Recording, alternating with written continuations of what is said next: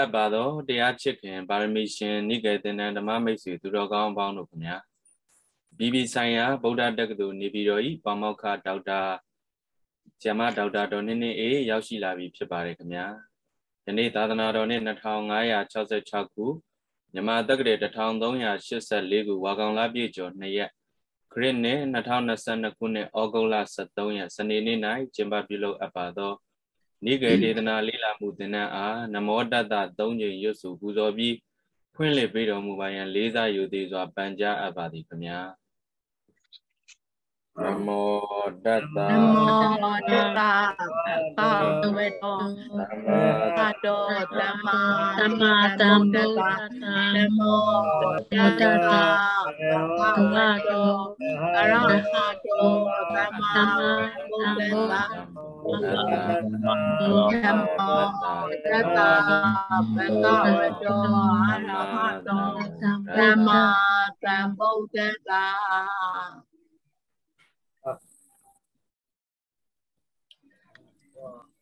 တင်နန်းသူတင်နန်းသားများအားလုံးမြင်လာပါရှင်မင်္ဂလာပါဆရာမမင်္ဂလာပါခင်ဗျာမင်္ဂလာပါဆရာမ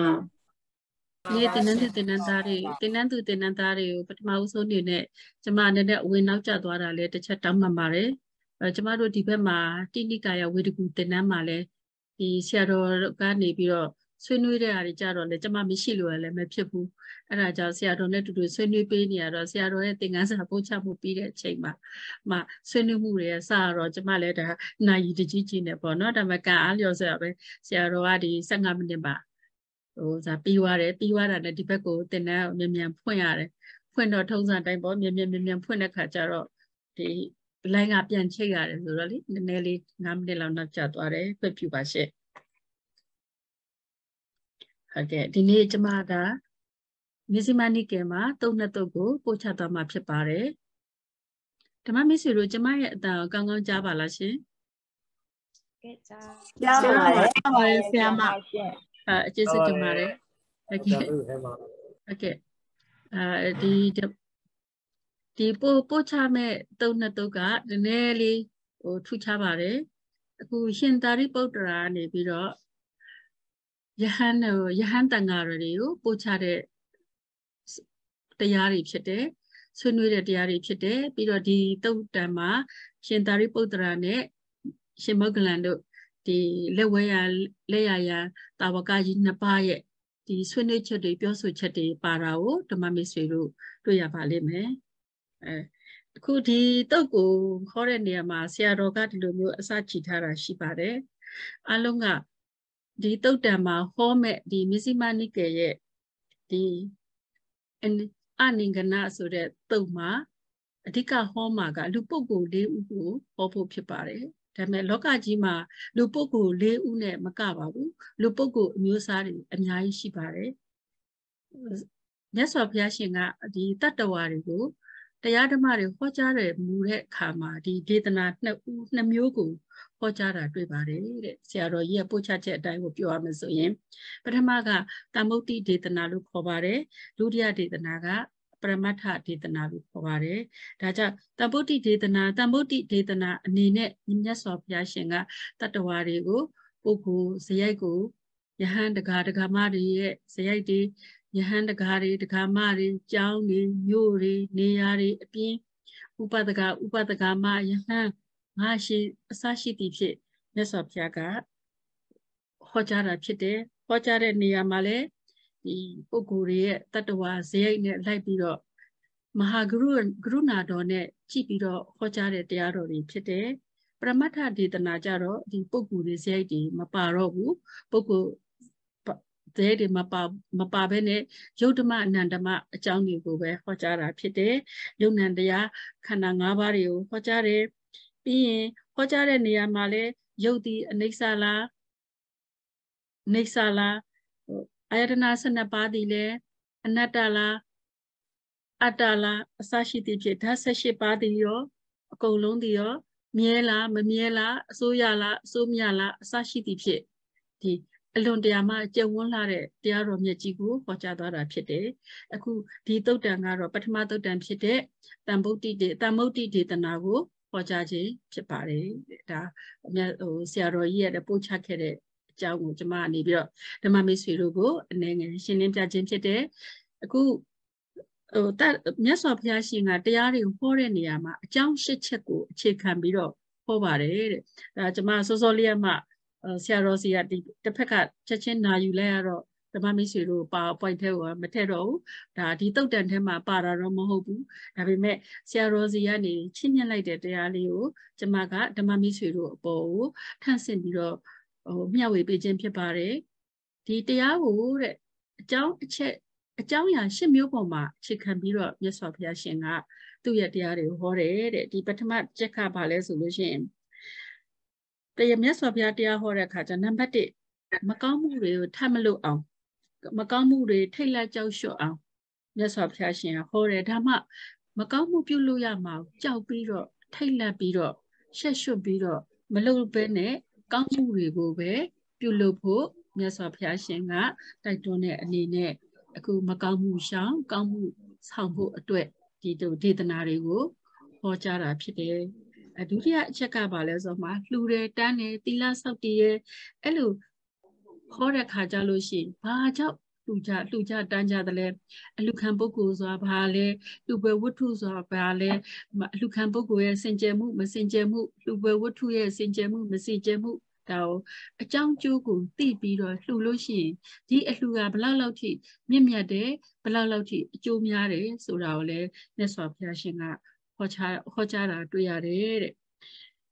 ဒီလိုမျိုးအကြောင်းကျိုးသိပြီးတော့လှူတဲ့အခါကျလို့ရှိရင်မိစ္ဆာဒိဋ္ဌိမဖြစ်ဘူးလို့ဆရာတော်ကမိန့်ပါပါတယ်ပြီးရင်ကြောင်းကန်တဲ့နံပါတ်3အချက်တွေနဲ့ကြောင်းကန်တွေလှူရင်လည်းအဲ့လိုပဲဒီကြောင်းလှူတဲ့အကျိုးတွေဘလောက်များရတယ်ဒီအကျိုးတွေဘလောက်ကျေးဇူးကြီးတယ်သာသနာတော်ကိုဘလောက်ထိတည်တတ်နိုင်အောင်ထိမ့်သိမ်းထားနိုင်တယ်ဆိုတဲ့အခုမြတ်စွာဘုရားရှင်ရဲ့လက်ထက်မှာပေါ်လာတဲ့ဇေတဝန်ကျောင်းတော်ကြီးတို့ နော်ပုပ္ပါယုံကျောင်းတော်ကြီးတို့အဲ့လိုမျိုးနဲ့ပတ်သက်ပြီးတော့ဘုရားရှင်ရဲ့အနုမောဒနာတရားတွေမှာလည်းဒီကျောင်းလူရဲ့အကျိုးကိုလည်းတွေ့ရပါတယ်တဲ့ပြီးရင်နောက်တစ်ခုကပိဿနန္တရိယကံဖြစ်တဲ့အမိကိုတတ်တဲ့ကံအဖကိုတတ်တဲ့ကံယဟနာကိုတတ်တဲ့ကံနော်အဲမြတ်စွာဘုရားရှင်ကိုသွေးစိမ့်တယ်အောင်လုပ်တဲ့ကံနဲ့အတန်ခါသိမ့်ခွဲတဲ့ကံတွေအဲ့လိုကံတွေကျူးလွန်ပြီးလို့ရှိရင် ဟိုဘလို့နည်းနဲ့မှကုစားလို့မရဘဲနဲ့ဘဝတတတာမှာမေတ္တာဖို့တာတန်တရားလုံးမှာမေတ္တာဖို့တာဖြစ်သွားတယ်ဆိုတဲ့အကြောင်းအဲ့ဒါကိုလည်းရှောင်ကျင်ကြဖို့မြတ်စွာဘုရားရှင်ကအကျိုးအပြစ်တွေကိုလည်းဟောကြားတာကိုပြမြင်ရပါတယ်တဲ့။အဲနောက်တစ်ခုကမိဘတွေရဲ့ကျေးဇူးပေါ့နော်မိဘတွေရဲ့ကျေးဇူးကဘလောက်ကိုမြင့်မြတ်တယ်အမိဖကတဲ့ဗမာကြီးနဲ့ တူတယ်ဗမာကြီးနဲ့တူတယ်မြင့်မြတ်တဲ့အတွက်ကြောင့်မိဘကျေးဇူးကဆက်လို့တော့မပုံဘူးတဲ့နော်ဒါကြောင့်မေတ္တာကရုဏာမုဒိတာဥပ္ပခါဆိုတဲ့ဗမစိုးတရား၄ပါးနဲ့တူအောင်ပေးနိုင်တဲ့မိဘရဲ့မေတ္တာကိုလည်းမစော်ကားဖို့မပြင်းမှားဖို့ဒီမိဘမေတ္တာရဲ့အကျိုးကျေးဇူးကြီးမားပုံတွေကိုလည်းမြတ်စွာဘုရားရှင်ကဟောကြားသွားတာကိုတွေ့ရပါတယ်ဒါကြောင့်နောက်တစ်ခုကဘာလဲဆိုလို့ရှိရင်ဟို ပုဂ္ဂိုလ်တ attva တွေရဲ့နော်ဒီဆရာတော်မြတ်စွာဘုရားရှင်ဟောကြားတဲ့နေရာမှာယဟန်တကာယဟန်တကာမတွေတော်၎င်းမြတ်စွာဘုရားရှင်ရဲ့တပည့်တာဝကယဟန်တွေကိုတော်၎င်းပြီးတော့တက္ကတွန်းပုံသားတွေကိုပြီးတော့ဒီအယူဝါဒပြိုင်နေတဲ့ယဟန်အယူဝါဒပြိုင်နေတဲ့ဘာသာမတူတဲ့သူတွေကိုလည်းအိမ်မှာမြတ်စွာဘုရားရှင်ကဟောကြားသွားတာတွေ့ပါတယ်အဓိကကအတိတ်ဆက်ကြောင်းကိုဟောတဲ့အခါ အတိတ်ဆက်ကြောင်းကနေပြီးတော့နမူနာယူစရာတာဝေကယူစရာတွေကိုလည်းဘုရားရှင်ကဟောကြားသွားပါတယ်တဲ့ပြီးရင်နောက်တစ်ခုအလှခံပုဂ္ဂိုလ်အလှခံပုဂ္ဂိုလ်နဲ့ပတ်သက်ရင်လည်းအလှခံပုဂ္ဂိုလ်အမျိုးအစားတွေပေါ်မှာမူတည်ပြီးတော့ဘလို့လှူရင်ဘလို့အကျိုးရှိတယ်သောတာပန်ကိုလှူရင်ဘလို့အကျိုးတဂရကံကိုလှူရင်ဘလို့အကျိုးအနာဂံကိုလှူရင်ဘလို့အကျိုးယန္တာကိုလှူရင်ဘလို့အကျိုးဖះရှင်ကိုလှူရင်ဘလို့အကျိုးဆိုတာကိုလည်း ဟောထားဟောကြားယုံတင်မကဘူးမြတ်စွာဘုရားရှင်ကလူပုဂ္ဂိုလ်တ attva တွေကိုလှူရင်ဘလို့အကျိုးရတယ်။ဘာလို့ဆိုအခုကျမတို့ဒီဒီပရဟိတလုပ်ငန်းတွေလုပ်နေတဲ့အတွက်တနာကျင်နာမှုဂုဏတရားပေါ်အခြေခံပြီးလှူတဲ့အလှူတွေနော်ပြီးတော့နောက်တစ်ခုကတိရစ္ဆာန်လေးတွေကိုကျွေးမွေးစွန့်ကြဲတဲ့လူတန်းတဲ့လူတွေအဲ့ဒီရဲ့အကျိုးတွေကိုလည်းမြတ်စွာဘုရားရှင်ကဟောကြားတော်မူတာတွေ့ရပါတယ် ပြီးရင်လူလောကထဲပါရှိတဲ့ထုံတန်းစင်လာအရာပွဲတွေပွဲတွေဖြစ်တဲ့မင်္ဂလာပွဲအတုပအခမ်းအနားအဲ့နဲ့ထိုက်တန်တဲ့တရားတော်တွေလည်းမြတ်စွာဘုရားရှင်ကဟောကြားသွားတာတွေ့တယ်ဒါကြောင့်ဘုရားရှင်ရဲ့ဟောကြားတဲ့အချက်တရားပုံသေးတွက်လို့တော့မရဘူးအကြောင်းအကျိုးကိုအခြေခံပြီးတော့မြတ်စွာဘုရားရှင်ကဒီမဟာဂုဏတော်နဲ့တတ္တလောကယူကြည့်လိုက်ပြီးတော့ချွတ်တဲ့သူကြွတ်တဲ့သူတင်မကဘူး မြတ်ဖယားတပည့်တာဝကတွေရဲ့သစ္စာလေးပါးကိုရနိုင်တဲ့သူအစရှိသည့်ဖြင့်လူနတ်မြမပုဂ္ဂိုလ်တ attva အလုံးကိုဟောကြားတဲ့အကြောင်းတွေကိုလည်းမြတ်စွာဘုရားရှင်ကဟောတော်မူတယ်။ဒါကြောင့်ဘုရားရှင်ရဲ့တရားတော်တွေကို45ဝါကာလပတ်လုံးကိုဟောကြားပြီးတော့ကြည့်လိုက်တဲ့အခါမှာဒီအချက်ရှစ်ချက်ကို တွေ့ရတွေ့တာတွေ့ရပါတယ်။အဲ့ဒါကသမုဒ္တိဒေသနာကိုဟောကြားတဲ့အချိန်မှာဖြစ်ပါတယ်။ စောစောကပြောသလိုပဲပုဂ္ဂိုလ်တ attva တွေရဲ့အကျိတ်စရိုက်ကိုမဟုတ်ဘဲနဲ့စိတ်စေတသိက်ယုံနိဗ္ဗာန်ဆိုတဲ့ပရမတ္ထတရား၄ပါးကိုဟောတဲ့ဒေသနာနဲ့ကတော့တစ်ခုစီပေါ့နော်ဒါပေမဲ့ဖះဟောမြတ်စွာဘုရားရှင်ဟောတဲ့အခါမှာအဲ့ဒီအကြောင်းတွေအလုံးထောက်ချင်ပြီးတော့ဟောသွားတာကိုတွေ့ရပါတယ်ဒါကတော့ဒါဘုရားရှင်ရဲ့တရားဟောတဲ့အကြောင်းလေးပါအခုဒီဒီနေ့ကျမထပ်စစ်ပြီးတော့ဟောကြားတဲ့မြတ်စွာဘုရားရှင်ရဲ့ ရဲ့ဒီမေဇိမာနိကေဟောကြားချက်မှာမျက်စိမျက်စိမနိကေဟောကြားချက်မှာပထမဦးဆုံးအနေနဲ့အနေကနာတုတ်ကိုအရင်ကျမ screen share ပြီးတော့ဓမ္မမိတ်ဆွေတို့ဟောဟောကြားပို့ချပါမယ်ရှင်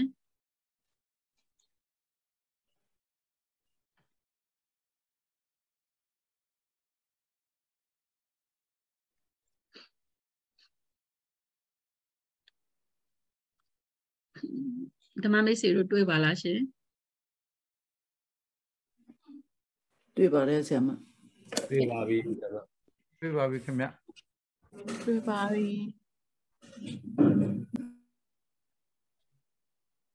နည်းလေးကြည့်လိုက်မယ်နော်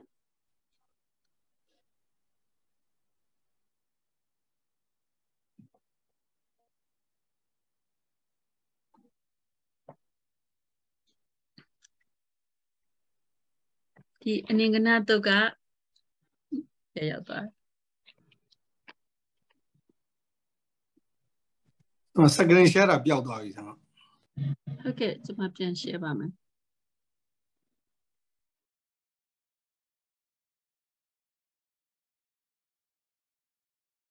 ခဏလေးပါကျွန်မ window တစ်ခုကိုပျောက်သွားလို့ခဏလေးရှိခဏလေးနော် စောစော window တစ်ခုပဲရောက်သွားလည်းမသိခဏလေးရှိခဏလေးနော်ကျွန်မဆောဆော window window တင်တာပျောက်သွားလို့ခဏလေး screen share တဲ့ထဲမှာခဏလေးကျွန်မပြန်ပြီးတော့ကြည့်လိုက်အောင်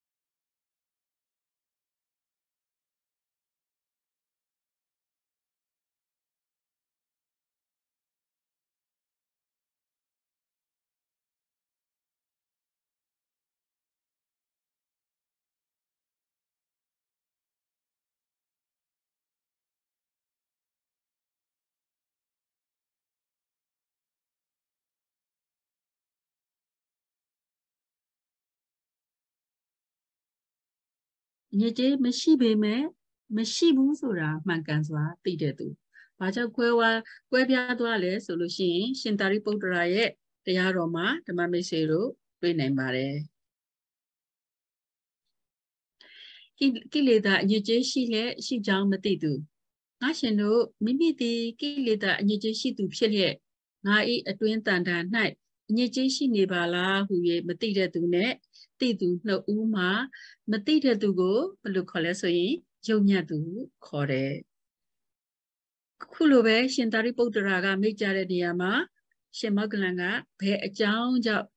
ဆိုအပ်ပါသနည်းဟုမေးတယ်ဒီခါရှင်သာရိပုတ္တရာကငါရှင်မောကလန်မိမိတဏ္ဍာ၌အညစ်အကြေးရှိပါလျက်မရှိကြောင်းမသိတဲ့သူကဒီအညစ်အကြေးကိုပယ်ဖို့အတွက်အားထုတ်မှာမဟုတ်ဘူးထို့သူသည်ယာကဒေါသ မောဟတိဟုသောအညစ်အကြေးတန်လန်းဖြင့်ညှဉ်းနှွမ်းသောစိတ်ရှိလျက်နဲ့သိလွန်ဖွယ်ရှိတယ်နော်အညစ်အကြေးရှိမှန်းမသိတဲ့အတွက်ကြောင့်သူ့ရဲ့ခန္ဓာကိုယ်ထဲမှာအညစ်အကြေးရှိနေတာကိုမသိတဲ့သူကအဲ့ဒီလူကအညစ်အကြေးကိုပယ်ဖို့အမထုတ်တော့ဘူးအမထုတ်တဲ့အတွက်ကြောင့် သူနဲ့တူတူတပါးတည်းပါသွားမှာကမိသူ့ရဲ့ဘဝတစ်လျှောက်လုံးမှာပြုလုပ်ခဲ့တဲ့မြရာဂတွေဒေါသတွေမောဟတွေဆိုတဲ့ကိလေသာအညစ်အကြေးတွေပယ်အပ်မဲ့အညစ်အကြေးတွေအလုံးနဲ့သူဒီသေတဲ့ထိတောင်မှာပါသွားမယ်ဥပမာကဘာတွေပေးလဲဆိုတော့ညစ်ပေရကြီးအထက်ထက်တင်နေတဲ့ကြီးခွက်နဲ့ဥပမာပေးတယ်ဒီကြီးခွက်နဲ့ဥပမာပေးတဲ့အခါအဲ့ဒီကြီးခွက်ကိုသုံးလည်းမသုံးဘူးဆေးလည်းမဆေးကြောဘူး ပြစ်ထားရင်အဲ့ဒီကြေးခွက်ကြီးကဘယ်လိုဖြစ်သွားမလဲပိုးပို့ပြီးတော့ညစ်ပတ်လာမယ်နော်ဈေးကိုဒါကြောင့်ညစ်ပေနေတဲ့ကြေးခွက်နဲ့တူတယ်ဘာဖြစ်လို့လဲဆိုတော့ तू ကပယ်ဖို့အတွက် तू ကအမထုတ်တော့ဘူးမကြိုးစားတော့ဘူးဘာဖြစ်လို့ဆိုတော့ तू ကမသိဘူးသူ့မှာကိလေသာအညစ်အကြေးတွေရှိသူဖြစ်ပေမဲ့ဒါဟာအညစ်အကြေးပါလားလို့အကုသို့တရားပါလားလို့မသိတဲ့အတွက်ကြောင့် तू ကပယ်ဖို့မကြိုးစားတော့ဘူးမကြိုးစားတဲ့အတွက်ကြောင့်ကြေးခွက်တစ်ခွက်ကို ညစ်ပေနေတဲ့ကြေးခွက်တစ်ခွက်ကိုသုံးလည်းမသုံးဆေးလည်းမဆေးကြောဘူးပြစ်ထားရင်ကြားလေးညစ်ပေလေးကြားလေးပို့ပို့ပြီးတော့ဆိုးလာမှာ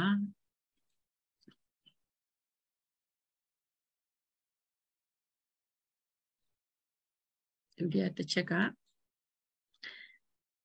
ကိလေသာအညစ်အကြေးရှိကြောင်းကိုသိတဲ့သူနောက်တူကငါရှင်မောကလန်မိမိတန်တာနဲ့ကိလေသာအညစ်အကြေးရှိနေတဲ့ အညစ်အကြေးရှိကြောင်းသိတဲ့သူကတော့ထိုအညစ်အကြေးကိုပယ်ရန်အလိုဆန္ဒကို ဖြစ်စေလက်တတ်အာထုတ်လက်တတ်လုံလာစွမ်းကိုကြိုးပမ်းလက်တတ်ထိုပုဂ္ဂိုလ်သည်တက်မဲ့ခြင်းရာကမရှိပဲကြမ်းတမ်းပြမာသောဒေါသမရှိပဲတွေ့ဝေတဲ့မောဟမရှိပဲကိလေသာအညစ်အကြေးမရှိပဲညှဉ်းနှွမ်းသောစိတ်မရှိပဲအညစ်အကြေးများကင်း၍တန်ရှင်းစင်ကြယ်သောစိတ်ရှိတဲ့စိတ်ဖြစ်သေလွန်ပွဲအကြောင်းရှိ၏ နော်ဒါကြောင့်မိမိရဲ့တဏ္ဍန်တွင်းမှာရှိနေတဲ့ကိလေသာအညစ်အကြေးတွေကိုရှင်းမှန်းသိနေတဲ့သူကဒီအညစ်အကြေးကိုပယ်မှာပဲသူကဒီသူ့ရဲ့ဆန္ဒကိုဖြစ်အောင်အထုတ်မှာပဲသူကလုံလပြုတ်ပြီးတော့ကြိုးပမ်းမှာပဲဒီပုဂ္ဂိုလ်ကသူ့စီမှာတက်မဲ့ခြင်းဆိုတဲ့ရာဂလည်းမရှိဘူးကြမ်းတမ်းပြစ်မှာတဲ့ဒေါသလည်းမရှိတော့ဘူးတွေ့ဝေတဲ့မောဟလည်းမရှိဘူးကိလေသာအညစ်အကြေးမရှိပဲညှဉ်းနှွမ်းတဲ့စိတ်မရှိဘဲနဲ့ တန်ရှင်းစင်ကြယ်တဲ့စိတ်နဲ့ပဲတည်လွန်သွားမှာဒါကြောင့်စောစောအလိုပဲကြေးခွက်ဥပမာကိုပေးတဲ့နေရာမှာဒီကြေးခွက်ကိုသုံးလက်အသုံးပြုမယ်သုံးပြုပြီးရင်သူမှဆေးကြောမယ်ဆေးကြောပြီးပုတ်တိုက်မယ်ဘာဖြစ်လို့ဆိုတော့အညစ်အကြေးရှိမှန်းသိနေတာကိုပုတ်တိုက်ရင်တဖြည်းဖြည်းဖြူစင်သွားရင်ကြေးခွက်နဲ့ဥပမာအကြောင်းကိုဒီရှင်သာရိပုတ္တရာကငါရှင်မောဂလန်ကိုပြောတယ်ယဟန်နေအားလုံးကနားထောင်နေပြီလေနားထောင်နေပြီးတော့ဒီရှင်သာရိပုတ္တရာနဲ့ ရှင်မောဂလန်နဲ့ကအပြန်လှန်ဒါပြောနေတဲ့ဒီတရားတော်ဖြစ်တယ်နောက်တစ်ခုကနံပါတ်3ကကိလေသာအငြင်းကြီးမရှိလျက်မရှိကြောင်းမှန်စွာမသိတဲ့သူ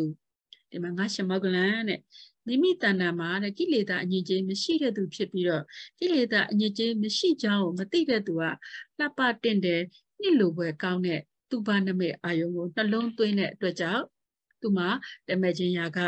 ကြမ်းတမ်းတဲ့ ကြမ်းတမ်းပြစ်မှားတဲ့ဒေါသတွေ့ဝေခြင်းမောဟတွေရှိပြီးတော့ကိလေသာအညစ်အကြေးတန်လန့်နဲ့ညင်နွမ်းတဲ့စိတ်နဲ့သိလွန်ဖွဲ့အကြောင်းရှိတယ်။ဘာဖြစ်လို့လဲဆိုတော့သူ့မှာအညစ်အကြေးကတော့မရှိဘူး။မရှိပေတဲ့မရှိမှန်းကိုမသိဘူး။မသိတဲ့အတွက်ကြောင့်မသိသူသည်ယုံညံ့သူပဲ။သိသူသည်မြင်မြတ်သူမသိသည်မသိသူသည်ယုံညံ့သူ။ ဒါကြောင့်သူဒီလည်းပဲသူ့မှာတက်မဲ့ခြင်းယောဂဘာဖြစ်လို့ဆိုတော့သူကမြင်သမျှအားလုံးကိုသူ့ဘာနမိတ်ပေါ့နော်ချစ်ခင်ပွဲနှစ်သက်ပွဲလှပတင့်တယ်တဲ့အာယုနမိတ်တွေပဲသူကနှလုံးသွင်းနေမှာ哦သူနှလုံးသွင်းနေတဲ့အတွက်ကြောင့်သူရဲ့တက်မဲ့ခြင်းယာဂတွေကြမ်းတမ်းပြစ်မှားတဲ့ဒေါသတွေဒီတွေ့ဝေတဲ့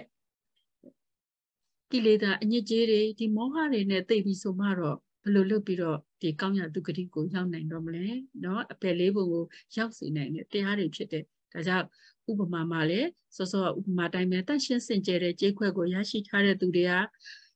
သုံးလည်းမသုံးဘူးဆေးလည်းမစိုးမဆေးကြောဘူးမပုတ်တက်မပုတ်တက်ဘူးဆိုရင်သူကတဖြည်းဖြည်းနဲ့တာလွန်ပြီးတော့ညစ်ထေသွားမယ်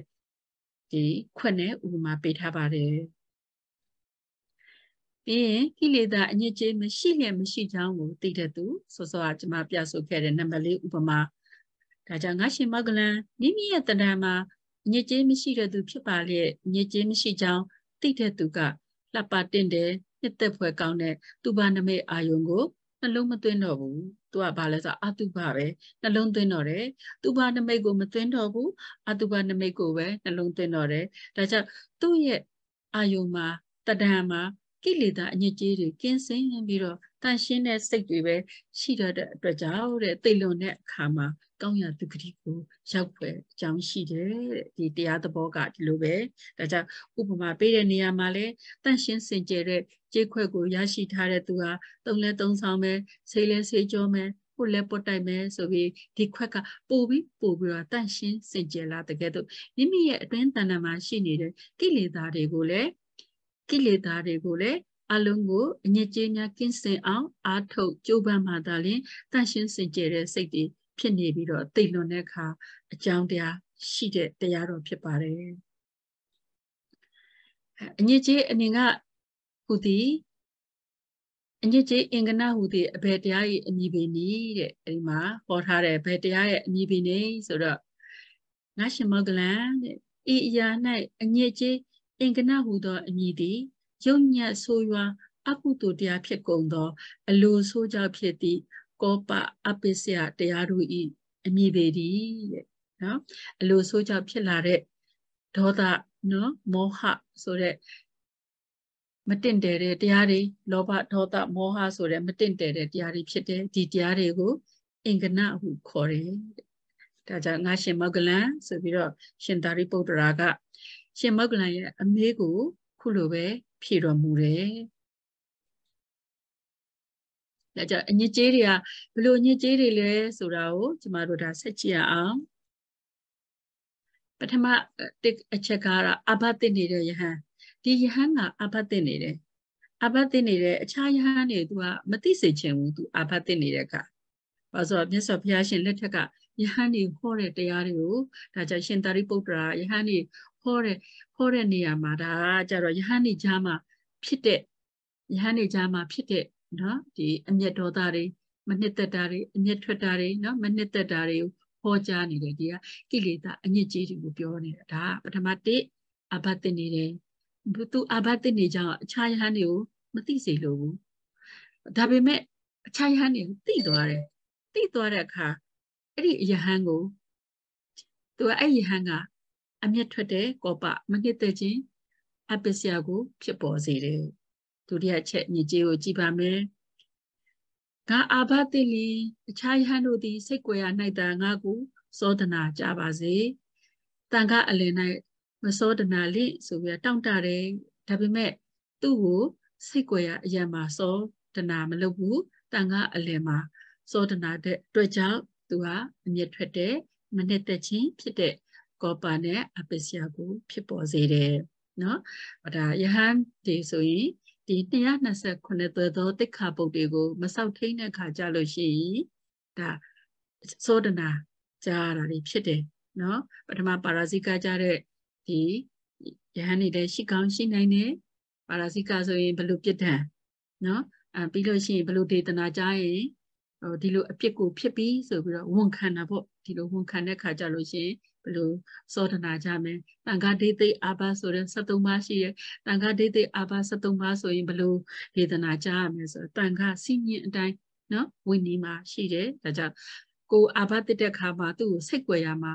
စောဒနာမလုပ်ပဲနဲ့တန်ခါအလယ်မှာစောဒနာလုပ်တဲ့အတွက်ကြောင့်အမျက်ထွက်တယ်မနှစ်သက်တယ်ဒါတရားတစ်ချက်မိမိအာဘတိလျင်မိမိ၌ မိမိနဲ့အာဘရှိခြင်းတူသောယဟန်နေရာစောဒနာခြင်းကိုလိုလားတယ်သူဥပမာအဖြစ်တစ်ခုပေါ့နော်အာသူလည်းယဟန်သည်နေလွဲညစာစားမိမယ်အဲ့ဒါဆိုနေလွဲညစာစားတဲ့ယဟန်ကနေပြီးတော့စောဒနာတာကိုလိုချင်တယ်သူလည်းအပြစ်ရှိတယ်ကိုလည်းအပြစ်ရှိတယ်ဒါပေမဲ့အခုကျတော့ဗာလဲအာဘမတူတဲ့ယဟန်နေရဲ့စောဒနာခြင်းကိုခံရတဲ့အတွက်ကြောင့်အမျက်ထွက်တယ်မနှစ်သက်တယ်တစ်ချက်ကမြတ်စွာဘုရားရှင်ကတရားဟောတဲ့အခါ ငါ့ကိုသာမေးမေးဟောပါစေဆိုပြီးတောင်းတတယ်ဘာလို့ဆိုတော့ယဟန်နေကြမှာလဲမြတ်စွာဘုရားရှင်ကနာမည်ခေါ်ပြီးတော့ခေါ်ကြတဲ့တရားတော်တွေရှိတယ်လေအဲ့လိုမျိုးတောင်းတပေမဲ့ဘုရားရှင်ကအခြားယဟန်ကိုပဲမေး၍မေး၍နာမည်ကိုမေးတယ်အခြားယဟန်တွေကိုနားလည်လားလို့မေးတယ်ငါရှင်ငါရှင်စခေါ်တဲ့ခါကျတော့အဲ့ဒီအတွက်သူကအမျက်ထွက်တယ်မနှစ်သက်တယ်အဲ့လိုမျိုးလဲဖြစ်တယ်တဲ့နောက်တစ်ချက်ကယဟန်နေဆုံးခံသွားတဲ့အခါမှာ မိမိကိုခြံရံပြီးတော့သွားစေလိုတယ်နော်မိမိကိုခြံရံပြီးတော့သွားစေလိုတယ်ဒါပေမဲ့ तू ကခြံရံပြီးတော့မသွားစေချင်မသွားဘူးဘာဖြစ် तू ကသူများနောက်ကိုရောက်သွားတယ် तू ရှေ့မှာလည်းနေကျင်တယ်နေကျင်တဲ့ခါကျတော့ဒီဟန်ကဟို तू လိုချင်တဲ့နေရာမှာမနေရဘူးပြီးတော့ဆွန်းစားဆောင်မှာဆွန်းစားတဲ့ခါကျရင်လည်း तू ကမိမိပဲနေရာဦးဆွမ်းဦးကိုရလိုတယ်မိမိပဲဆွန်းအနုမောဒနာတရားကိုဟောကြားလိုတယ် ပြီးရင်မိမိကိုဘိက္ခုဘိက္ခုနီတို့ကပူဇော်တက်ကာရကိုလည်းပြုစုလို့ပြုပြုစီလိုတယ်မိမိကသာလျှင်ကောင်းမွန်သောသင်္ကန်းစွန့်တို့ကိုရချင်တယ်ဒါပေမဲ့အထင်နဲ့အမြင်လွဲတဲ့သဘောပေါ့နော်မိမိမရပဲတပါးသောယဟန်တွေကရရှိသွားတဲ့အတွက်ကြောင့်အမျက်ထွက်မဲ့အမျက်ထွက်ခြင်းကောပဖြစ်မဲ့မနစ်သက်ခြင်းဆိုတဲ့အပစ္စယကိုလည်းဖြစ်ပေါ်စေတယ်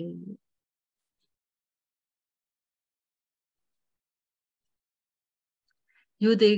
ယူယူသေးလေးစားခြင်းမခံရသူနဲ့ယူသေးလေးစားခြင်းခံရသူဆိုတာကိုလည်းထပ်ဟောပါတယ်ဒီနေရာမှာထိုယဟန်၌ယုံညတ်သောအကုသိုလ်အလိုဆိုးများရှိသည်ကို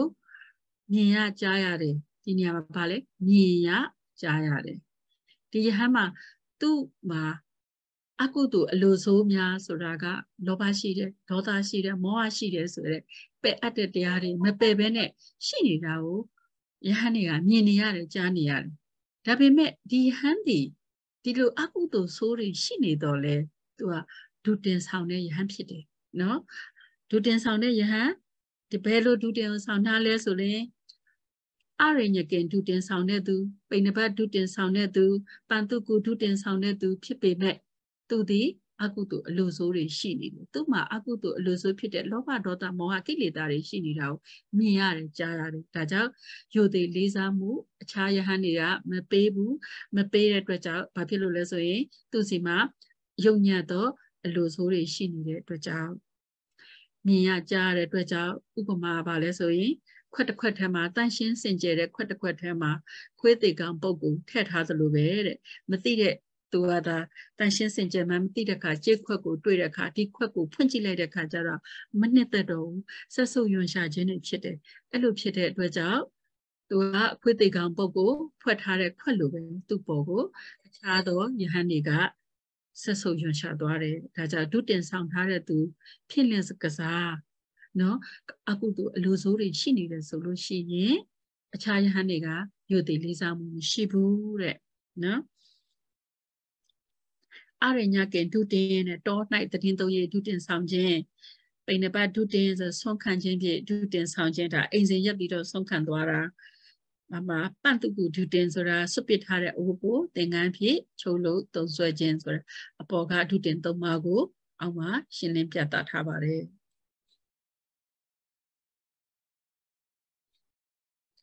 မှာစောစောယူတည်လေးစားခြင်း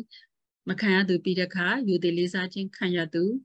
အကျဉ်ဟန်အားဤရုပ်မှာတော့အလိုဆိုးများပယ်ထားပြီးသည်ကိုမြင်ရကြရခြင်းเนาะဗာလဲအကုသိုလ်တရားတွေဖြစ်တဲ့လောဘဒေါသမောဟ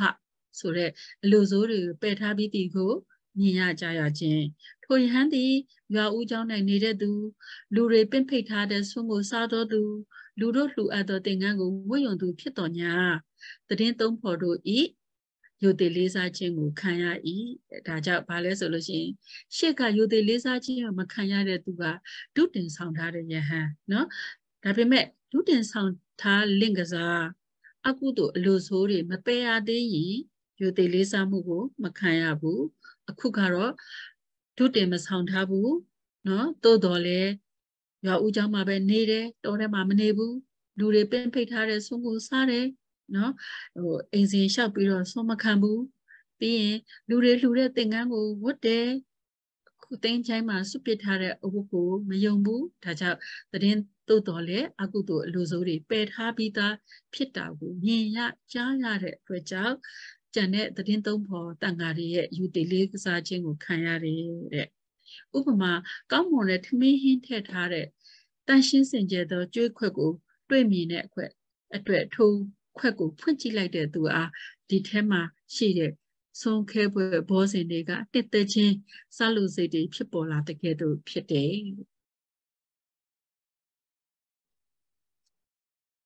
နောက်ဒီငါရှင်သာရိပုတ္တရာဆိုတာကဒီရှင်မုဂ္ဂလန်ကပြန်ပြောတယ်ရှင်သာရိပုတ္တရာကိုလဲပြီးအကုတ်ကိုလှုပ်တဲ့နော်တမိတိအမည်ရှိတဲ့ယထာလုတ်သမားကိုအကြောင်းပြုပြီးဟောတာ ငါရှင်သာရိပုတ္တရာတပိတပည့်တပည့်တော်ဒီတခါကရာဇကြိုမျိုးတဲကိုဆုံးခံကြွစင်မှာလဲပြီးအကုတ်ပြုတ်လို့နေတဲ့တမိတိအမည်ရှိတဲ့ယထာလုတ်သမားကိုမြင်ရတယ်တဲ့အဲ့ဒီချိန်မှာယခင်ကယထာအလုတ်သမားဖြစ်ခဲ့ဘူးတဲ့ပန္တုပုဒ္ဒအမည်ရှိတဲ့တက္ကတွန်းကြီးကလည်းရှိတယ်တက္ကတွန်းကမိတိယတဲ့ဤယထာအကုတ်အကောက်အကွေးတွေအမျက်တွေကိုဤတို့ဤပုံခုတ်ဖြင်းလိုက်မယ်ဆိုရင်ဒီယထာ ယထာအကုတ်တွေကအကောက်ကွေးအမျက်တွေမရှိတော့ဘဲနဲ့ကောင်းမွန်တဲ့အနှစ်သားတွေပဲဖြစ်ပေရဤဟူ၍အကြံဖြစ်ခဲ့တယ်နော်ဒီယထာဘိမှာရှိတဲ့ယထာအကုတ်ပြုတ်လို့နေတဲ့အချိန်မှာအသားတွေကိုဘေးမှာရှိတဲ့အကောက်တွေအကွေးတွေအမျက်တွေကိုဟိုခုတ်ဖြင်းလိုက်တယ်ဆိုတာဓာတ်တွေနဲ့တတ်လိုက်တာပေါ့နော်တေချာခုတ်ထစ်လိုက်တဲ့ခါကျတော့ရှင်ဘေးမှာရှိတဲ့အကောက်တွေအကွေးတွေအမျက်တွေကိုဖယ်လိုက်တဲ့ခါမှာသူ့မှာ အခုဒီအကောက်ကွေးတွေကင်းစင်တဲ့ဖြောက်မှတ်နေတဲ့နော်အနှစ်သားဒီပဲဖြစ်မဲဆိုပြီးတော့သူကအကြံဖြစ်ခဲ့တယ်နော်ဒါပန္တုပုတ္တဆိုတဲ့တက္ကရုံးကြီးကဖြစ်တာအဲ့ဒီချိန်မှာတမိတရလည်းဒီတက္ကရုံးကြံစီစဉ်းစားနေတဲ့အတိုင်းသူကလည်းစောစောယထာအကုတ်ကိုသူကခုတ်ပြင်းလိုက်တယ်ခုတ်ပြင်းလိုက်တဲ့ခါကျတော့အပြစ်ကင်းစင်ပြီးတော့ကောင်းမွန်တဲ့အကုတ်ဖြစ်သွားတယ်ဒါဒီအခါမှာတက္ကတွန်းကြီးကဘာပြောလဲဆိုလို့ရှိရင် တမိတိကိုတင်ရငါးရစိတ်အကြံကိုတိပိတကဲ့သို့ပြုလုပ်တတ်ပေဤဆိုပြီးတော့ချီကျူးစကားပြောကြခဲ့တယ်တဲ့နော်ဒီယထာလို့သမားဒီလှဲပြီးကိုကိုလှုပ်နေတဲ့တမိတိကိုသူ့နဲ့အကြံတူတယ်ပေါ့နော်အကြံတူတယ်ဆိုပြီးတော့ချီကျူးစကားကိုပြောကြခဲ့တယ်တဲ့ဒါရှင်မောဂလန်ကဒါကိုဥပမာပေးတာငါရှင်သာရိပုတ္တရာဤဥပမာတိုင်းပဲတဲ့အရှင်သည်တတ္တာတရားမရှိပဲအသက်မွေးမှုအတွက်ယဟန်ပြုခဲ့ကြပြီး ကောက်ကျစ်စင်လဲသောစိတ်ရှိကုန်လျက်အကျင့်သိက္ခာ၌လေးစားမှုမရှိကုန်သောတတိတံပစဉ်ကင်းလွတ်စွာနေကြကုန်သောယဟန်တို့ဤစိတ်ကိုမိမိစိတ်နဲ့သိမြင်၍တရားဒေသနာဟူသောဓမ္မကြီးဖြင့်ခုတ်ဖြင်းပစ်တဲ့ကဲ့သို့ရှိပေ၏เนาะဒီနေရာမှာစောစောကဒီယထာရဲ့ဒီအကောက်ကွေးအမျက်တွေကိုရှင်းလိုက်တယ်လို့ပဲတတ္ထာတရားမရှိဘဲနဲ့ အသက်မွေးမှုအတွက်ချို့ကယဟန်ပြုခဲ့တယ်နော်မြတ်စွာဘုရားလက်ထက်မှာလည်းဒီလိုသာသနာတော်ကိုဟိုတတ္ထာတရားတော်မရှိပေမဲ့အကြောင်းမျိုးမျိုးကြောင့်ဝင်လာတဲ့ယဟန်တွေလည်းအများကြီးရှိတာ哦နော်အသက်မွေးမှုအတွက်လည်းဝင်လာပြီးယဟန်ပြုတယ်ဒါပေမဲ့သူတို့မှာဘာဖြစ်လဲဆိုတော့ကောက်ကျစ်စင်းလဲတဲ့စိတ်ရှိကောက်ကျစ်စင်းလဲတဲ့စိတ်ရှိတဲ့အတွက်ကြောင့်သူ့ရဲ့အကျင့်သိက္ခာမှာလေးစားမှုမရှိဘူးလေးစားမှုမရှိတဲ့အတွက်ကြောင့်တတိတံစင်တွေကင်းလွတ်စွာနေတဲ့ယဟန်ရဲ့စိတ်ကိုဘယ်လိုဖြစ်လဲဆိုရင် မိမိစိတ်နဲ့သိမြင်ပြီးတော့တရားဒေသနာဟောတယ်ဒါကြောင့်ဟောလိုက်တဲ့တရားဒေသနာကြောင့်နော်အခုဒီယဟန်နေယဟန်နေကနေပြီးတော့အမြင်အသိမှန်အမြင်မှန်ကိုရပြီးတော့အကုသို့အလိုဆိုးတွေပယ်ပြီးတော့ဒီမြတ်စွာဘုရားရှင်ရဲ့ဘုရားသားတော်နဲ့အညီနေထိုင်သွားတယ်နော် အဲ့ဒါဆိုလို့ရှိရင်တရားဓမ္မတွေကြစ်ကြံပြီးနေသွားမယ်ဆိုရင်ဒီစောစောလိုပဲယထာထိန်ယထာထိန်ကနေပြီးတော့ဓမ္မကြီးနဲ့ခုတ်ဖြင်းလိုက်တယ်လို့ပဲတဲ့အနှစ်ဖြောက်စင်းနေတဲ့အနှစ်ကိုပဲရတော့မယ်တဲ့ဒါကြောင့်တရားဒေသနာဟူသောဓမ္မကြီးဖြင့်ခုတ်ဖြင်းပစ်တဲ့ကဲ့သို့ရှိပြီတဲ့ဒါကြောင့်ဒီချိန်မှာပဲနောက်တစ်ခုကလည်းတတ္ထာတရားဖြင့်ယဟန်ပြုခဲ့ပြီးနောက်ကောက်ကျင့်မှုဆိုတဲ့အပြစ်ကနေပြီးတော့ကင်းစင်တော့ကင်းစင်လက် အจิตသိက္ခာ၌ယူသည်လေးစားမှုရှိကုန်သောတတိတံစင်နှင့်ပြည့်စုံသောယဟန်တို့သည်ကအရှင်ဤတရားဒေသနာကိုကြားနာရသည်ဖြစ်၍ဝမ်းမြောက်စွာလိုက်နာကြည်သုံးကြပါလိမ့်မယ်။ဒါကြောင့်နောက်ဆုံးမှာဒီမြတ်စွာဘုရားဒီ sorry ရှင်သာရိပုတ္တရာနဲ့ရှင်မောဂလန်ကနေပြီးတော့ဒီယထာမှာယထာရဲ့အကုတ်ကိုပြုလုပ်တဲ့အထိအနှစ်သာဥပမာလေးနဲ့ပြောပြီးတော့တတ္တတရားမရှိဘဲနဲ့သာသနာကိုဝင်လာတဲ့ယဟန်တော်တွေတတ္တတရားရှိပြီးတော့ ပြီးတော့ယတနာဒီသာသနာတော်ကိုဝင်လာတဲ့ယဟန်နေနော်ပထမတစ်မျိုးကတော့ကောက်ကျစ်ဆင်းလဲတဲ့စိတ်တွေရှိတယ်အကျင့်သိက္ခာမှာလေးစားမှုမရှိဘူးဒါပေမဲ့တတ်ထတရားနဲ့ဝင်လာတဲ့ယဟန်နေကြတော့သာသနာတော်ပုံမှာလည်းကြီးညိုတယ်ကောက်ကျစ်မှုလည်းမရှိဘူးကင်းစင်တဲ့အကျင့်သိက္ခာမှာလည်းလူသိလေးစားတယ်တတိတံစင်ညာနဲ့လည်းပြည့်စုံတဲ့အတွက်ကြောင့်ယဟန်ရှင်ဘုရားရဲ့တရားဒေသနာကိုကြားနာရတဲ့အခါမှာဝမ်းမြောက်စွာလိုက်နာจิตတုံးကြပြီလိမ့်မယ်တဲ့ ဒါပထမပြောတဲ့အင်္ဂနာတုကဒီနေရာမှာပြီးပါပြီဒီနေရာမှာပြီးတဲ့အတွက်ကြောင့်နောက်တစ်ခုကဩ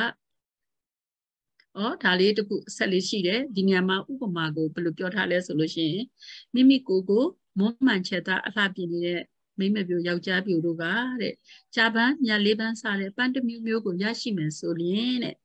ထိုပန်းကိုလက်နှစ်ဖက်နဲ့လေးလေးစားစားလက်ခံရယူပြီးမိမိခေါင်း၌ပန်းစင်ရတကယ်တော့ ထို့တူပဲအကျင့်တီလာကိုမျက်နှိုးတဲ့ဟန်နေရအရှင်ရဟောကြားချက်ကိုနှစ်သက်မျက်နှိုးစွာခံယူจิตတုံပါလိမ့်မယ်ဆိုပြီးတော့မြတ်စွာအခုဒီရှင်သာရိပုတ္တရာရဲ့နဲ့ရှင်မုဂ္ဂလန်ရဲ့ဒီတရားကိုဒီနေရာလေးမှာအဆုံးသတ်ထားတာတွေ့ရပါမယ်နော်ဒါကြောင့်သတနာကိုကြည်ညိုတဲ့ယဟန်မကြည်ညိုတဲ့ယဟန်ကဘာနဲ့ဥပမာနောက်ဆုံးမှာပေးထားလဲဆိုလို့ရှိရင်မိမိကိုယ်ကိုအလှပ လိမ့်ချယ်နေတဲ့ပြင်ပြင်ဆင်နေတဲ့ယောက်ျားပြူမိန်းမပြူကဒီပန်းတစ်မျိုးမျိုးနှစ်သက်ဖွယ်ပန်းတစ်မျိုးမျိုးကိုရတယ်ဆိုရင်ဒီပန်းကိုလက်နှစ်ဖက်နဲ့လေးလေးဆဆကိုလက်ခံယူတယ်ဖြစ်တယ်လို့မယူဘူးတခါတလေကြလို့ရှင်အလွယ်ရလို့အလွယ်မယူဘူးเนาะဘာလို့သာသနာကိုကြည်ညိုတဲ့တတ္တာတရားနဲ့ဝင်လာတဲ့အတွက်ကြောင့်မမျက်နှိုးနှိုးနဲ့ပန့်ဆင်ပြီးတော့เนาะထို့တူပဲအကျင့်တီလာကိုမျက်နှိုးတဲ့ယဟန်တွေကလည်း ရှင်ရဟောကြားချက်ကိုနှစ်သက်မှာပဲပြီးရင်ဒုတိယတုတ်ကအကင်ခေယတုတ်ဒါဒုတိယတုတ်တဲ့အနေနဲ့အကင်ခေယတုတ်ကိုဟောကြားသွားမှာဖြစ်ပါတယ်ဒီနေရာမှာဟောကြားတဲ့ပုဂ္ဂိုလ်ကလည်းရှင်သာရိပုတ္တရာပဲဟောကြားရဒေသလည်းတာဝတိပြည်စီတဝန်ကျောင်းမှာပဲ ဟောရခြင်းအကြောင်းကလူဝင်ဆန္ဒဟူသမျှကိုပြေဝစေနိုင်တဲ့တိလကိုဖြစ်ခြင်းဖို့အတွက်ဟောကြားခြင်းဖြစ်တယ်တဲ့နော်လူဝင်ဆန္ဒဟူသမျှကိုဖြည့်ဝစေနိုင်တဲ့တိလကိုဖြစ်ခြင်းဖို့ဟောကြားတယ်တဲ့ဒီညမှာဘာလို့ဘလို့ပြည့်ဘလို့ပြေဝသွားပြေဝမဲ့တိလတွေလဲဆိုလို့ရှိရင်နောက်မှကြည့်မယ်နော်အာတရားနာတဲ့သူကတော့တပည့်တန်ဃာတော်များ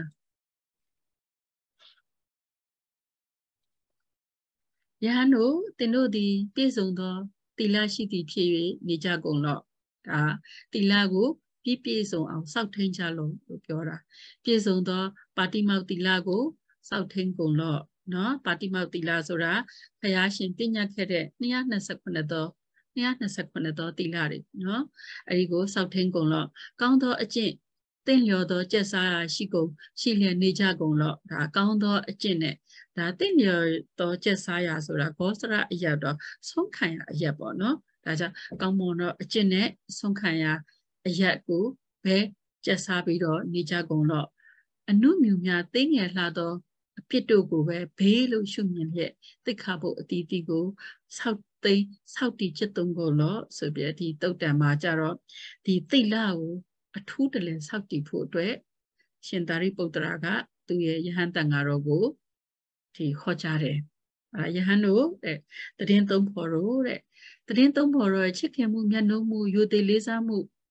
ချီးမွမ်းမှုကိုခံယူလိုသောယဟန်ဒီတိလကိုသာဖြစ်ခြင်းရာဤဒီလိုဖြစ်ခြင်းတဲ့နေရာမှာလဲမိမိရဲ့စိတ်ငြိမ်းအေးရေးကိုအထုတ်လျက်စိတ်ငြိမ်းအေးရေးကိုအထုတ်လျက်ဆိုတာကဒီဟိုဒီ တရားအထုတ်တဲ့နေရာမှာစိတ်ငြိမ်ရဲ့အရက်မှာလည်းသူကအထုတ်တင်တယ်အထုတ်ပြီးတော့စိတ်ရဲ့ငြိမ်းချမ်းမှုကိုရအောင်တမာတိအပြည့်နဲ့အထုတ်တင်တယ်ဒီနေရာမှာမကင်းကွာသောရှုမှတ်မှုရှိလျက်ဝိပဿနာဉာဏ်နဲ့လည်းပြည့်စုံလျက်စိတ်ငြိမ်ရာအရတုချိကလျက်နေရဤဒါကြောင့်ဒီလိုစိတ်ငြိမ်အေးဖို့အထုတ်ဖို့တမာတိတည်ငြိမ်ဖို့အထုတ်ဖို့အတွက်အမှတ်တတိမလွတ်စေဘဲနဲ့တလဆက် ရှုမှတ်မယ်လုံးလာဝိရိယစိုက်ပြီးတော့ရှုမှတ်မယ်ဒါကြောင့်ဝိပဿနာဉာဏ်နဲ့ပြည့်စုံပြီးတော့စိတ်ငြိမ်ရာအရမှာပဲချိကပြီးနေရဤဆိုတာဒီတိလာကိုစောက်ထိန်ပြီးတော့နေမှသာလျင်တည်င်းသုံးဖို့ရဟန်တွေကလည်းချစ်ခင်မှုမျက်နှာမှုယိုသေးလေးစားမှုချီးမွမ်းမှုကိုခံရမယ်အဲ့ဒါကြောင့်တိလကိုပဲဖြစ်ကျင့်ရမယ်လို့ဒီညမှာရှင်သာရိပုတ္တရာကယဟန်တွေကိုဟောကြားတော်မူပါတယ် နောက်တစ်ခုကပစ္စည်းလေးပါးရရှိလို့ရင်တဲ့ယဟန်တို့တဲ့သင်္ကန်းစွန်းအစရှိသောကျောင်းသင်္ကန်းစေစွန်းပေါ့နော်ပစ္စည်းလေးပါးမှာဘာတွေပါလဲဆိုရင်ကျောင်းသင်္ကန်းစေစွန်းအဲအစရှိတဲ့ပစ္စည်းလေးပါးကိုရရှိလို့တော့ရရှိလို့ရင်းနဲ့မိမိသုံးဆောင်တော့ပစ္စည်းလေးပါးဒါယကာတို့ကိုအကျိုးကျေးဇူးများစွာရရှိလို့တော့ယဟန်သည်တိလကိုသာ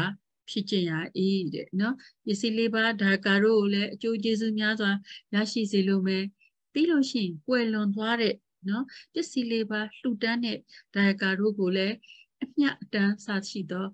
ဒီအကျိုးကျေးဇူးများစွာရရှိလို့တဲ့ယဟန်ကတိလရှိဖို့ပဲဖြစ်ကျင်ရမယ်နော်ဒါကြောင့်တိလဒီချခံမယ်ဒီယခန်းရဲ့ဒီမြတ်စွာဘုရားရဲ့သာသနာတော်မှာ နေမဲ့ယဟန်ဒီရဲ့အဓိကအလုပ်ဒီတိလကိုခံရဲတဲ့ခံရဲအောင်စောင့်ထိန်ဖို့ပဲဖြစ်ပါတယ်ဒါကြောင့်ယဟန်တို့တဲ့ယဟတရားအကျင့်၌မပျော်ပိုက်ခြင်းနှင့်ကမ္မဂုဏ်၅ပါး၌မွေ့လျော်ပျော်ပိုက်ခြင်းတို့ကိုတွန်းလှန်လိုသောစိတ်၌ဖြစ်သည့်လက်တွေ့အဖြစ်ချမ်းသာစွာနေနိုင်ကြောင်းဖြစ်တဲ့ဇန်လေးပါးကိုလည်းသက်တာလွယ်ကူစွာရရှိလိုသောအေးငိမ့်တည်ငြိမ်သော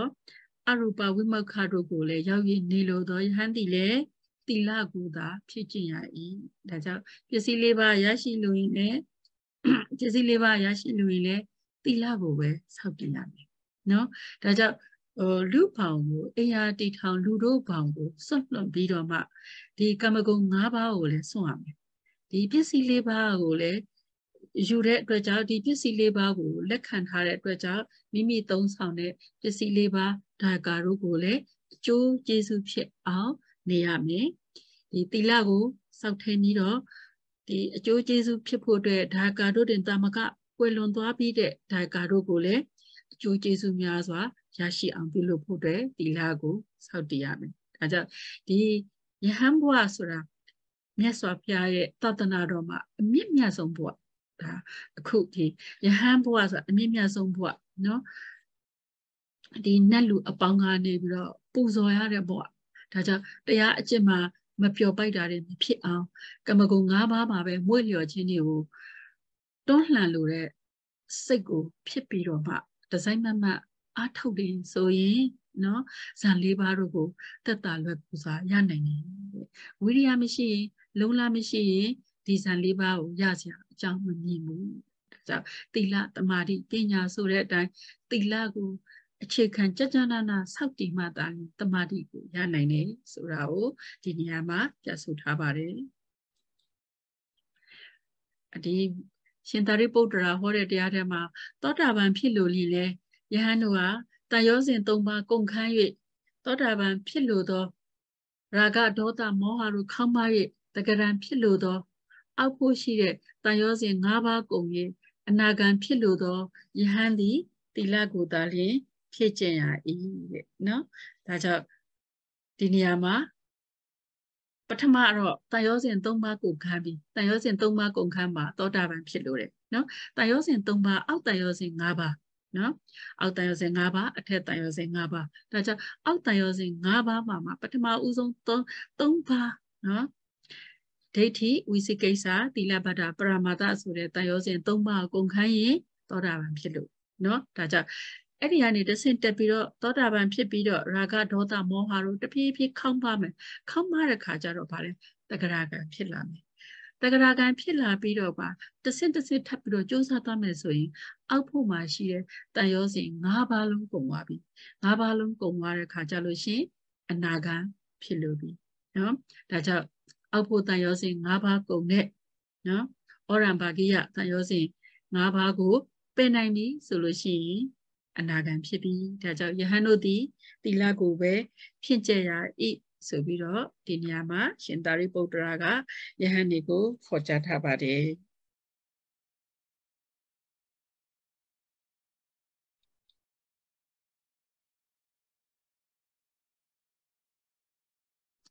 ဘိညာဉ်တကိုးတွေရရှိရင်လည်းဒီလိုပဲတကိုးမျိုးမျိုးကိုတကိုးမျိုးမျိုးကိုဖန်ဆင်းနိုင်တဲ့အဋ္ဌိဝိဒဘိညာဉ်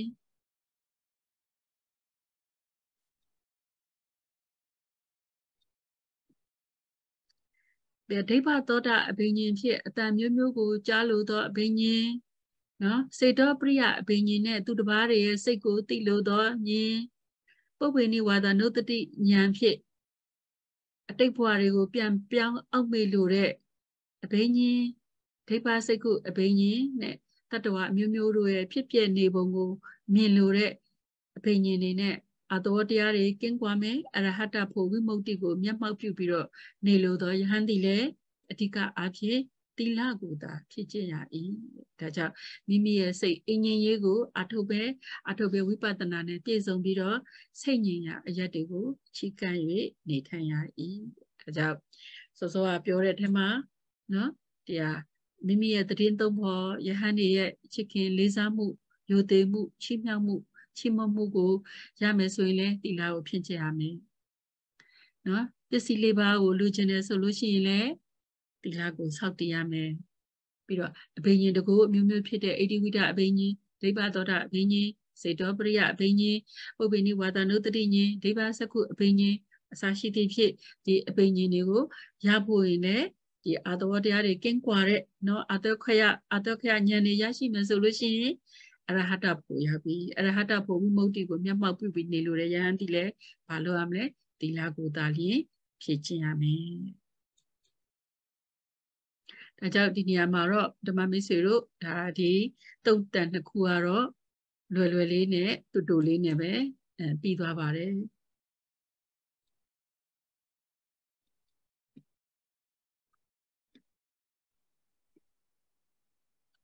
အဲကြောင့်ဓမ္မပိတ်ဆွေတို့ဒီဒီနေ့ဒါပို့ချခဲ့တဲ့ဒီတုတ်တန်နှစ်ခုကမခက်ဘူးပထမတုတ်တန်ဖြစ်တဲ့အအနင်္ဂယတုတ်အနင်္ဂယတုတ်တန်မှာကြတော့ဗာလဲဆိုလို့ရှိရင်ဒီဟိုရှင်သာရိပုတ္တရာနဲ့ရှင်မဂ္ဂလန်တို့ရဲ့အပြန်လှန်ဆွေးနွေးတဲ့တရားခန်းတွေပါတယ်ဘသူတွေကိုသိအောင်ပြောလဲဆိုလို့ရှိရင်ယဟန်နေနော်ဒီတရားပွဲဓမ္မတပင်ဓမ္မရှိနေတဲ့ယဟန်တွေကိုသိဖို့အတွက် ဟောတယ်ဒီလူလေးမျိုးမှာဆိုလို့ရှိရင်လည်းအမကိလေသာအညစ်အကြေးတွေရှိခဲ့ရှိမှန်းမသိတဲ့သူကိညကိလေသာအညစ်အကြေးတွေရှိတော်လဲရှိမှန်းသိနေတဲ့သူကိလေသာအညစ်အကြေးတွေမရှိပေမဲ့မရှိမှန်းကို မသိတဲ့သူကိလေသာအညစ်အကြေးတွေမရှိပေမဲ့မရှိမှန်းကိုသိတဲ့သူဆိုပြီးတော့ပုဂ္ဂိုလ်လေးမျိုးကိုခွဲထားတယ်ဒီပုဂ္ဂိုလ်လေးမျိုးမှာမှမြင့်မြတ်သူနဲ့ယုံညံ့သူဆိုပြီးတော့ခွဲခြားထားတယ် မြင့်မြတ်သူနဲ့သူမှာအဲသူကမြင့်မြတ်သူလဲဘယ်သူကယုံညံ့သူလဲမြင့်မြတ်သူဒီသိနေတာရှိမှန်းသိတယ်မြင့်မြတ်သူပဲမရှိမှန်းသိနေသူဒီမြင့်မြတ်သူပဲယုံညံ့သူကတော့ဟိုရှိမှန်းကိုလည်းမသိတဲ့သူမရှိမှန်းကိုလည်းမသိတဲ့သူဒီယုံညံ့သူဖြစ်တယ်เนาะအဲ့ဒါလေးကိုနားလည်ရမယ်ပြီးရင်ဒုတိယပုံမှာကျတော့ဒုတိယပုံမှာဖြစ်တဲ့ အကင်ခေယတုတ်မှာကြတော့တိလကိုယဟန်တော်တွေအဓိကစောက်ထိန်ဖို့အတွက်ရှင်သာရိပုတ္တရာရဲ့ဒီတရားတော်မှာဖော်ပြထားတယ်ပစ္စည်းလေးပါဖြစ်တဲ့ဆွမ်းဆန်အကြောင်းစေးကိုရလိုတဲ့အချိန်မှာလည်းသီလကိုစောင့်တည်ရမယ်နော်အဘိညာဉ်မျိုးမျိုးကိုရလိုရင်လည်းသီလကိုစောင့်တည်ရမယ်သောတာပန်တဂရကအနာဂံနဲ့နောက်ဆုံးလွတ်မြောက်တဲ့ဒီဝိမု ക്തി တရားတွေကိုလည်းရလိုရင်လည်းရလိုရင်လည်းသီလကိုသာ စောင့်တည်ရမယ်ဆိုပြီးတော့ပေါ်သွားတယ်ဒီထက်မှာတော့ထွေထူးအချက်တော့မရှိဘူးဒါကြောင့်စောစောကဆရာတော်ဒီဆရာတော်နန္ဒကဟောကြားခဲ့သလိုပဲမြတ်စွာဘုရားရှင်ရဲ့ဒီတရားတော်တွေကိုနာယူတဲ့အခါမှာအကြောင်းချက်၈ပါးနဲ့ကင်းတဲ့တရားဆိုတာမရှိဘူးဆိုတာဓမ္မမိတ်ဆွေတို့လည်းတွေ့ပါလိမ့်မယ်ဒါကြောင့်အခုတင်နေတဲ့တင်နန်းသူတင်နန်းသားဓမ္မမိတ်ဆွေပေါင်းဒီလည်း အလုံးစိတ်ဆင်းရဲဟိုတပည့်တော်ရဲ့ဒီနေရာမှာတရားလေးကိုအဆုံးသတ်ပါမယ်စိတ်ဆင်းရဲကိုဆင်းရဲတွေကင်းဝေးကြပါစေအလိုရှိအတောင်းတအပ်သောဆုထူးဆုမြတ်တွေလည်းပြည့်စုံကြပါစေ